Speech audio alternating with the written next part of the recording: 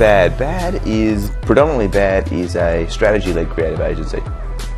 We've always said we're the ridiculous sort of rebellious crew, um, but I think these days um, it's a small-scale, full-service marketing and communications agency. Branding, advertising, and design are the three things that really fundamentally make up what we are and what we do. Um, but Bad's fucking cool, man.